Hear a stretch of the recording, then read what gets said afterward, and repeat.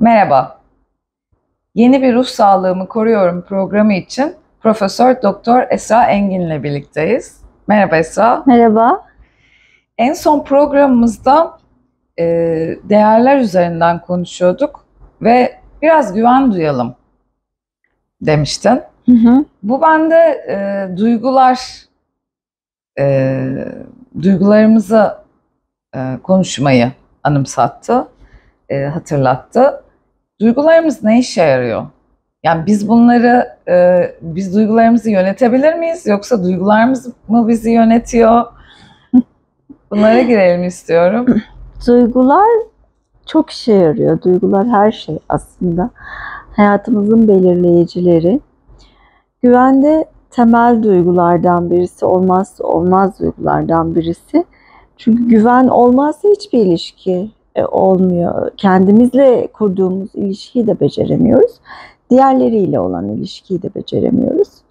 Güven temel bir duygu. E, biliyorsun ilk anne çocuk arasındaki ilişkiden e, menşe alıyor. Yani oradaki annenin bebeğine tutumu yani primer bakım veren diyoruz. ilk bakım veren e, bebeğe nasıl davranıyorsa güven duygusu oradan başlıyor gelişmeye ve hayatımız boyunca da e, devam ediyor. Güven diye sorduğun için temel Yani anneden alıyoruz değil mi? Tabii. En çok. yani bu anne diye geçiyor ama artık hani e, bakım veren kimse bu anne de olur baba da olur ama ilk bebekle temas kuran anne karnında başlıyor temas devam ediyor. Ee, ilk bebeği kucağına alan kimse ki bu anne oluyor genellikle emziren, doyuran, işte e, yıkayan e, ya da işte altını değiştiren genellikle anneler oluyor. O yüzden anne diye e, kullanılıyor ama artık babalar da bakıma e, destek oluyor. E, anne bebek arasındaki ilişki e, baba bakıma destek olsa da çok önemli diye düşünüyorum ben. Çünkü annenin e, duyguları bebeğe de geçiyor. E, o hamilelik döneminde yaşanan bütün durumlar vesaire nasıl hamileliği rahat mı geçirdi, sıkıntılı mı geçirdi, kişilik olarak kaygılı bir tip mi, rahat, bir tip mi? E, bebek bundan etkileniyor. Daha doğmadan önce başlıyor aslında serüven, duygularla olan serüven annemizden. Ve annenin e, etrafında olan baba, e, büyük ebeveynler ya da arkadaşlar vesaire gibi genişliyor halka. Ama doğmadan önce duygularla karşılaşıyoruz aslında bir çeşit. Evet. Ve olaylara karşı e, verdiğimiz tepkiler de sonuçta çocuğu aslında hani arkadaşınla bu şekilde konuşma diyoruz belki ama aslında daha çok verdiğimiz nasihatlardansa bizim verdiğimiz tepkileri rol model alıyorlar. Elbette ama şöyle bakmakta fayda var. E, duygular e, somut şeyler değil, soyut şeyler. E, duyguları ifade etme biçimiyle genellikle duygular karışıyor. Duygular özellikle otantik olanlar, yani doğuştan getirdiklerimiz engellendiğinde aynı e, bir akarsuyun engellenmesi gibi düşünün. O engellendiğinde sular taşar ve etrafa zarar verebiliyor. E, o nedenle o aka, akışa izin vermek gerekiyor ki etrafta e, çiçekler açsın, hayvanlar e, su içsin, insanlar faydalansın. Yani doğadaki o akış gibi duygunun da e, genel ve e, doğuştan getirdiğimiz biçimiyle akmaya ihtiyacı var. Yani ifade bulması lazım. İfade bulması lazım. Zaten e, sağlıklı olan ya da olmayan ifade biçimiyle ayrışıyor. Duygunun kendisini kötüleyemeyiz. Her duygu e, önemlidir, işimize yarar.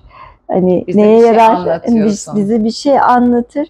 Hatta e, bazen özellikle kaygı bozukluklarında diyelim ki panik atak geçiren bir danışanıma e, bu şu an bu duygu sana ne anlatmaya çalışıyor? Panik atağınla barış e, gibi e, öğretilerde bulunurum. Çünkü orada duygunun ifade edilmemiş bir biçimi e, bedende kendini gösteriyordur.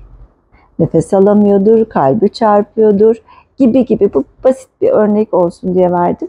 Çünkü duygular ifade edilmediğinde beden bizim adımıza konuşmaya başlıyor. Duygular soyut, duygular hayatımıza yön veren şeyler. Çünkü bir durumu yaşadığımızda e, ilk olarak duyguyu hissediyoruz, sonra tepki veriyoruz. E, öğrendiğimiz, bildiğimiz, taklit ettiğimiz şekilde tepkilerimizi veriyoruz. Ama duygular olmazsa biz olmuyoruz. Doğuyoruz, ölüyoruz. Yani bir nefes alıyoruz, bir nefes veriyoruz. Bu iki nefes e, alma verme arasındaki şeye biz yaşam diyoruz. Bu yaşam periyodunun içerisinde de sayısız duygu yaşıyoruz. E, ve hepsi de çok değerli ve çok kıymetli. E, duygulara biraz nötr bakmak gerekiyor. Çünkü e, yaşanan olaylara karşı e, beynimizin e, ve doğamızın gerektiği şekilde duygularla tepki veriyoruz. Duygusal diyoruz bazı insanlara Evet. mesela. Ben çok o e, tanımı sevmiyorum. Çünkü herkes duygusal. Herkesin bir duygusu Herkesin var. duygusu var. Ama kimi insan bu duyguları ifade edebiliyor sözler olarak, kimisi edemiyor. Orada bir ayrışma yaşıyoruz. Yoksa hepimiz duygusalız. Ee, hiç duygu tanımı e, olmayan insanlar da aslında duygusal. Sadece bunu tanımlayamıyor. Dolayısıyla insanların e, birbirine ulaşabildiği yegane şey duygular. Duygular zemininde eşitiz. Yani sen farklı insansın, ben farklı insanım. E, milyarlarca insan var farklı farklı. Duygu ortak. Tek ortak noktamız duygu. E, o yüzden çok özel. Birbirimize ulaşabilme kanalımız sadece duygus, duygular vasıtasıyla oluyor.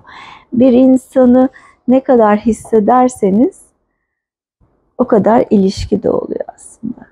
Anlamaya çabalamak falan bunlar hani yüzde yüz anlamak diye bir şey yok ama hissedebilirsiniz. Acısını hissedebilirsiniz. eee, sevincini hissedebilirsiniz.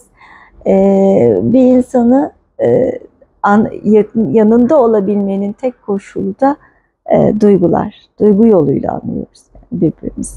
Sonuçta bu sene yaşadığımız büyük depremde de e, kendimiz orada olma, olmadığımız halde bir sürü insan için söylüyorum. e, duygulandık. E, veya şimdi Türkiye voleybol e, kadınlar büyük bir başarı elde etti. Duygulanıyoruz. Mesela milli bir e, sevinç yaşıyoruz bütün ülkede. Yani kimse şey demiyor ama ne saçma şeye seviniyorlar demiyor. Ya o duygu parçası içinde olmasa zaten onu hissedemeyecek. Hı hı. Öyle değil mi? Hani kimi belki bağırarak, e, naralar atarak sevinci, seviniyor, gurur duyuyor. Kimi de belki hani daha e, sessiz sedasız. Ama o duyguyu bir şekilde hissediyor. Ortak Hı hı. bir fayda var orada. Evet yani ortak zemin eee, çok önemli. İşte bizi bir birbirimize yaklaştıran şey duygular. Hani duygular ne işe yarıyor dedin ya. eee, insan olduğumuzu eee, Öbür türlü makine gibi olacağız zaten. Evet, hatalar yapabildiğimizi, acılar çekebildiğimizi, kayıplar yaşayabildiğimizi, birbirimizi sevebildiğimizi, öfkelenebildiğimizi ancak duygular vasıtasıyla e, anlıyoruz ve hissettirebiliyoruz. E, evet, bir deprem yaşadık. E, hiç tanımadığımız insanlar belki e, kay, kaybo, kaybettik yani. Ülkecek yastayız yani. Evet. Ee, bunu da duygular aracılığıyla yapabiliyoruz. İçimiz acıdı ee, kayıplarımızla. Hiçbir şey yapamamanın verdiği çaresizlikle. Ee, bizi insan yapan şeyler işte duygularımız. Ee, birbirimizin kim olduğunu bilmeyebiliriz. ki tanımıyoruz. Hı hı. Orada e, aynı e, yaşam felsefesinde olmayan binlerce insan vardı. Ama biz e, duygular vasıtasıyla acılarını hissedebildik. Evet. Hatta ben o zaman şunu düşünmüştüm. Aslında çok yargılarımız var. Hani kültürlere karşı, toplumlara karşı.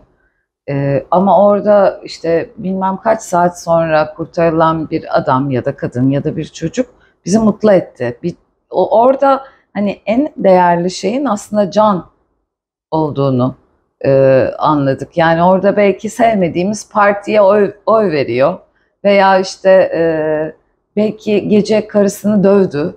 Hiçbir şey bilmiyoruz ona dair ama Evet. Yaşasın kurtuldu dedik. Belki dayak yiyen kadın yaşamadı gibi. Hani bilmiyoruz nasıl bir denge kurulduğunu ama orada bütün yargıların kalktığı bir e, yere ula- ulaştık gerçekten. Çok yoğun bir şeydi tabii. Allah bir daha yaşatmasın bize o günleri hı. ama. e, peki biz bu duyguları e, elimizde de değil bazen bazı duyguları hissetmek. Belki korku, e, yani ya da elimizde elimizde mi değil mi? Hani bunları yönetebilir miyiz? Duygular mı bizi yönetiyor? yönetiyor? Bizi biz yapan şeyler duygular dedik. E, duyguyu hissedip hissetmemek elimizde değil. E, insani bir şey. Evet mesela kıskandım ben birini. Doğamız Evet. gereği. Kıskanmak doğal bir duygudur. Ee, bir duyguyu anormalleştiren, biraz önce de söyledim, onu ifade etme biçimimiz ya da hiç ifade etmeyip içimizde saklamamızdır. Örneğin öfke hissediyoruz. Ee, öfkelenmek doğal bir duygudur. Çoğunlukla saldırganlıkla karışıyor. Diğer e, konuşmalarımızda belki de bahsettik bu konuyu Evet daha. aslında bazı Evet. başka konuları e, Evet. oyun Evet. üzerine konuşurken İlişkilerdeki oyunda da ilişkilerdeki oyunda bahsetmiştik. biraz bahsetmiştik. Öfke mesela çok tartışılan bir şey. Öfkeyi e, herkes kötü bir şey gibi görür ama öfke bir motivasyon kaynağıdır. Öfke aynı zamanda e, öfke duyabilmek aslında karşı tarafa ne kadar değer verdiğimizin bir göstergesidir. Hayal kırıklığının bir sonucudur öfke. E, ama öfkeyi ifade etme biçimimiz işte bizi e,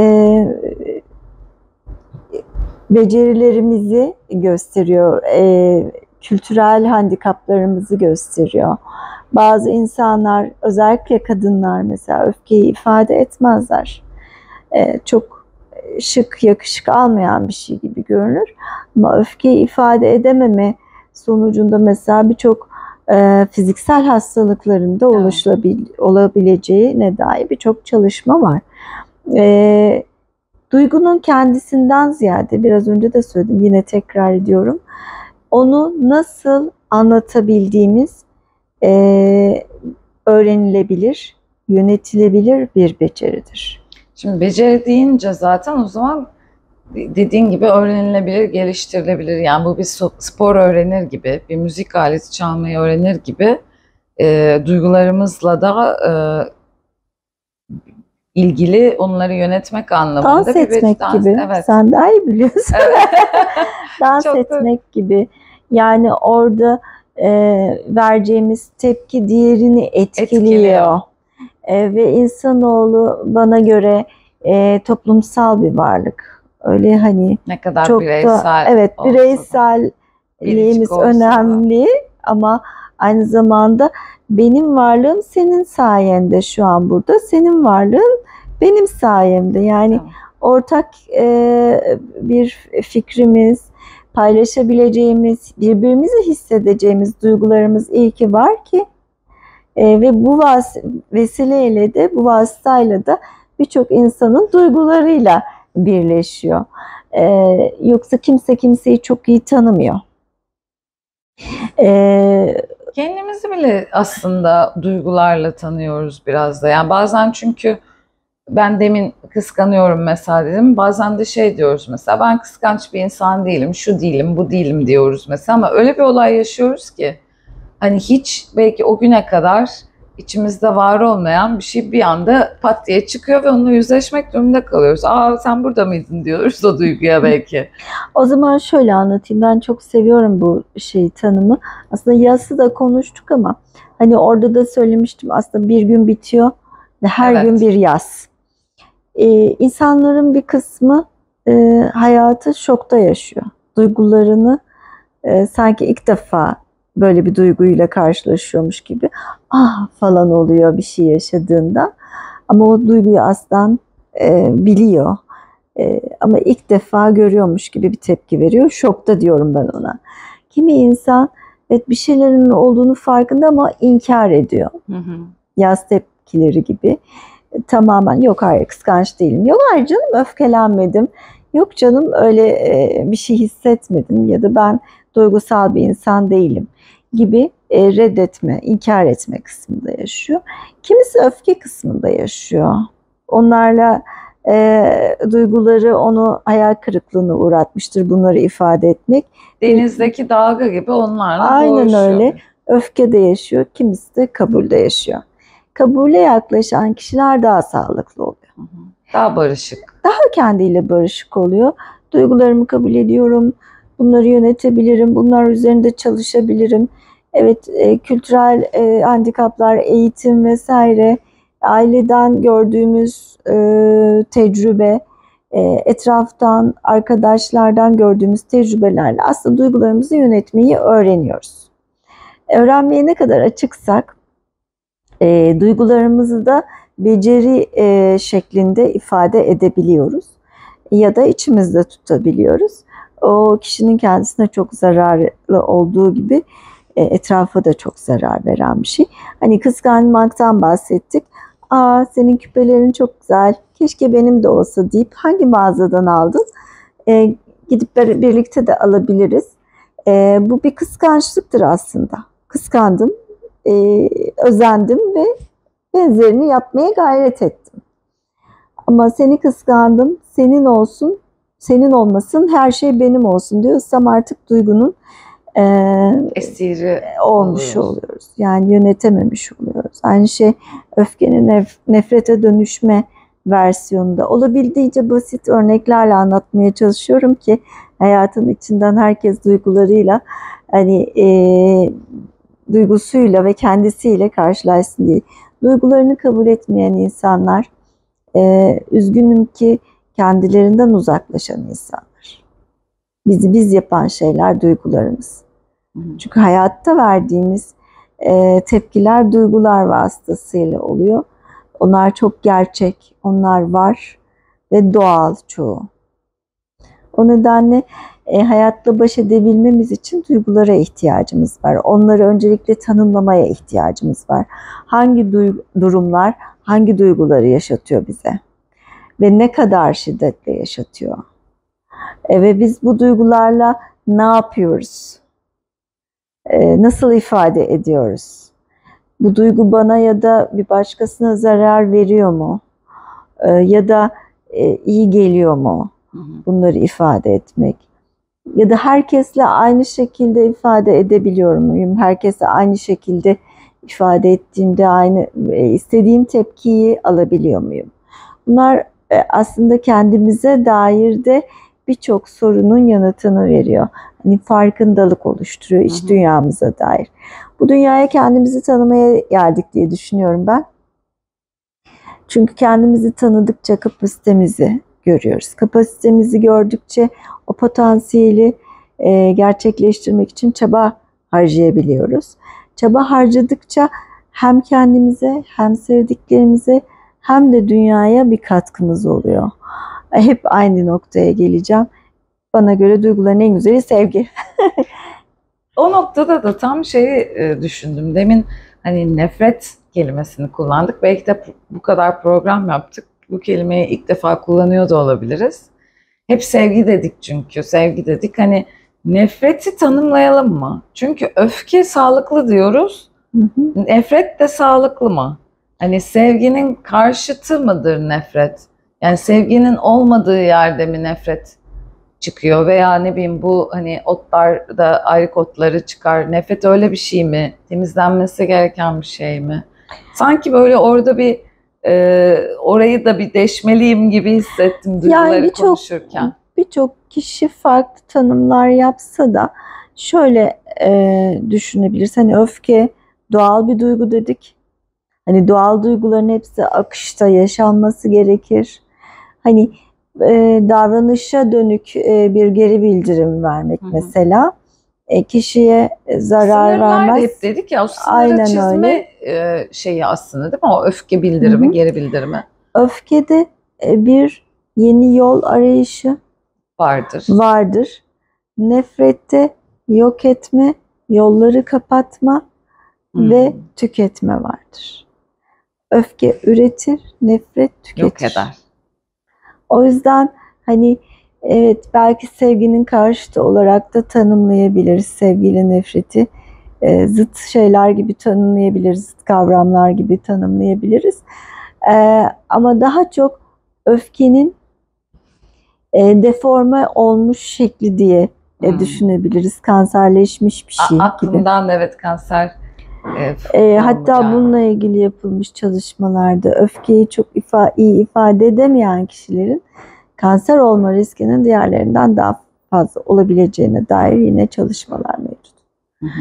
O yüzden hani öfkeden korkmamak, e, her ne kadar negatif bir duygu gibi bize öğretilmiş olsa da saldırganlıkla karıştırmamak. Öfke çok doğal bir şeydir. Hatta öfke duyduğunuz insanlar da sizler için değerlidir. Böyle bakmak. Onu e, işte çok kırıldığını ifade etmek. öfkeyi ifade etmek. Hayal kırıklıkların bir sonucudur dedik ya. Ben sana kırgınım. Hani senden bunu beklerdim ama olmadı. Ee, öfke yaşadım, öfkelendim diyebilmek kadar güzel bir şey yok. Açık iletişim diyoruz biz ona ve böyle bir ilişkide kişiler güvende hissediyorlar. Yine güvene bağlıyoruz. Açık iletişimde olduğumuz insanlarla güvende hissederiz. Sen bana yıllarca kızmışsın. Benim haberim olmamış. Sen bana bunu söylememişsin. İçinde belki ben seni kırdım. Öfke, Normal devam ediyor gözüküyor ilişki. İlişki devam ediyor ama öfke nefrete dönüşmüş. İçinde biriktirmişsin ve bir gün patlamışsın. E, ve ben şaşırmışım. Hiçbir şey kalmaz geriye. Oysa anında davranışlarımızın incitilebilir, incittiği düzeyi bize e, bildirse karşı taraf kendimizi de değiştirme fırsatımız olur. İlişkiyi de değiştirme fırsatımız olur ya da değiştirmeyiz. O noktada o şekilde sonlandırırız yıkıcı olmadan. O nedenle duygularla yüzleşmek, mesela kaygı da öyle. Kaygılarımızla yüzleşmek daha sakin bir insan olmamızı neden oluyor. Kaygı e, olmama olasılığı yok. Doğduğumuz andan itibaren hayatta kalmak için e, kaygı duymak zorundayız ama onun e, çok üst düzeylerde yıkıcı bir boyuta gelmemesi için bu duyguyla yüzleşerek bununla karşılaşarak yönetebiliriz. Tanımadığımız, bilmediğimiz bir şeyi yönetemiyoruz, hissedemiyoruz. Dolayısıyla önce e, duyguları tanımlayabilmek çok önemli. Evet, biraz o yüzden de böyle nefreti tanımlayalım istedim. Bana şu an şöyle gibi de geldi. Ee, hani şimdi hava durumunu biz yönetemiyoruz. Ama hava durumuna göre kıyafetlerimizi yönetiyoruz. Belki sokağa çıkmıyoruz kar Hı hı. var diye gibi. Biraz böyle bir hani somutlaştırmayı da seviyorum ya. Evet. Hani sonuçta o duygu geldi. Kötü bir duygu belki, kötü bir his. Kıskançlık olabilir, suçlu hissetmek olabilir. Ama yağmur hani ba- bazen bardaktan boşanırcasına yağar ve sen böyle bir yere sığınırsın. Yağmurun dinmesini beklersin. Oturup yağmuru e, yok etmek için bir çaba sarf etmezsin. Akar gider o duygu. Yani akar gider o yağmur. Yani duyguları da biz böyle bir seyirci gibi belki de e, hareket edebiliyorsak etmeli, edemiyorsak da durmalı mıyız? Ee, en eski felsefe adamlarından biri Epiktetos. Ee, kontrol edemeyeceğimiz şeylerle çok fazla meşgul olmamamız olmamamız gerektiğini söylüyor. Ee, ve e, insanların durumlara e, çok fazla anlamlar, yorumlar yükleyerek e, aslında o duygularını aşı, akışta yaşamadıklarını, yaşayamadıklarını söylüyor. E, biraz önce evet talihsiz bir örnek verdik. Mesela depremden bahsettik. Bu örneği seviyorum. Evet çok ciddi, çok büyük bir felaket yaşadık. Ee, ama şu bir gerçek ki ölüm gerçeği kadar bu topraklar e, deprem fay hattı üzerinde e, olan topraklar. Yani burada e, deprem e, bir daha başımıza gelmez inşallah diyemiyoruz. E, Allah bir daha göstermesin diyorlar ama göreceğiz. Ama evet tabii. Bunu ya, inkar ederek, dile, evet. e, Ben de hep onu bunu örnek veriyorum. Göreceğiz. Yani e, ona göre bir adımlar atmak. ona yani. göre adım atmak gerekiyor. Duygular da böyle, olaylar da böyle. Yani bir olayı ya- yaşamama olasılığımız bilemeyiz. O kadar da e, nadir değiliz. Yani sıradan e, insanlarız. Her şey hepimizin başına gelebiliyor. E, duygular da spontan olarak bir durum karşısında ortaya çıkıyor. Ama onu yönetip yönetmemek bizim elimizde. O durumun bizi ne kadar etkileyip etkilemeyeceği. Yani eğer ben evet başıma böyle şeyler gelebilir, deprem de olabilir, kayıplarım da olabilir. Çünkü ölümlü bir dünyaya doğuyorum. Ee, o zaman daha güvenli bir alan yaratmak için daha güvenli binalar inşa edebilirim. Ee, bunu sorgulayabilirim. Duygular da böyle bir şey. Depremi kontrol edemem. Duygularımı da Ko- kontrol kelimesini o yüzden sevmiyorum. Duyguları kontrol edemezsiniz. Kontrol etmeye çalıştığınız bir şey bir süre sonra size dert olur. Çünkü bir doğa olayı gibidir duygular. Ama yönetebilirsiniz. İyi binalar inşa ettiğiniz gibi doğru ifade biçimleriyle duygularınızı yöneterek daha mutlu, daha sağlıklı, daha insanlar olup daha yapıcı ilişkiler içerisinde bulunabilirsiniz. Bu tabii duygular da çocukluktan başlıyor ve biz bazen işte çocuk ağlıyor belki işte e, bir takım tepkiler veriyor ve biz hep bir susturma e, özellikle toplum içindeysek e, bastırmasını aslında e, öğretiyoruz belki. Hani duygusunu e, anlamaya çalışmaktan ziyade hani neye ihtiyacı var diye sor, sormuyoruz belki bazen.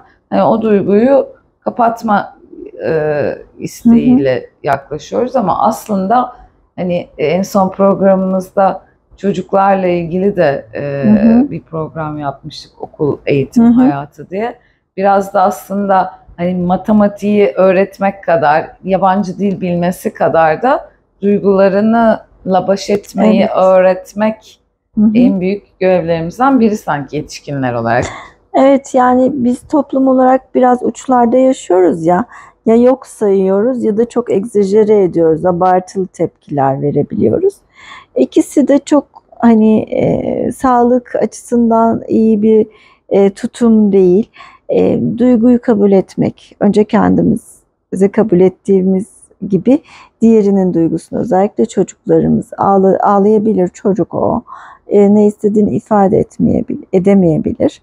Ee, neye ihtiyacı olduğunu sormak, şu an ne hissettiğini sormak, ona tanımlaması için e, yardımcı olmak, neye benziyor belki duygun demek.